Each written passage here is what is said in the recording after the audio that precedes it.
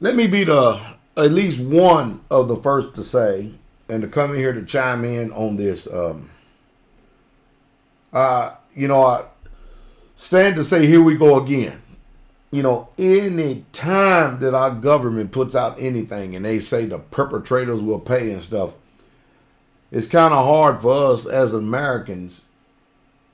You know, this is getting old. It's kind of hard for us as Americans to um, to believe anything they say. I mean, I just feel so sorry for the innocent people who are losing their lives. Because I promise you, the way that our country does, they use things like this, a crisis. They use things like this to further their agenda and capitalize on things that has nothing to do with this attack whatsoever at all whether it be foreign or domestic. At this time, we don't know. We really, truly don't know. I'm not about to believe anything that the news media said, and I definitely ain't about to believe anything that the that the federal government says or any of them say.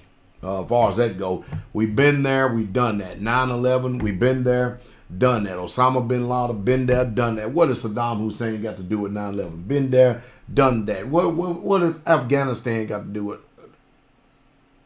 Been there, done that. I mean, it's just old. It's getting real old fast. And New York. How many times I told you people to get out of New York? Let me go ahead and tell you what's going to take place in the future. It's not hard to figure out. I've said it many, many times before in the past.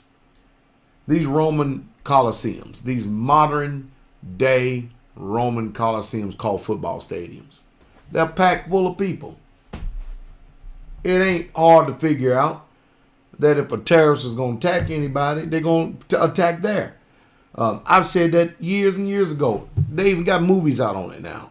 And usually the way the powers that be work is they put stuff out in movies and let you know exactly what they're going to do for us before they're going to do it. But it's old. It is it's old and it's tired. And people are tired. You people get out of the cities. Get out of the cities my deepest condolences for those who have lost their lives and the family members that are suffering, um, especially those in 9 11 who will never probably have the opportunity to know the truth because everything's been buried. We're dealing with gangsters, professional liars and gangsters. And if it's on mainstream news media, you already know it's a conspiracy theory. Just go ahead and throw it out.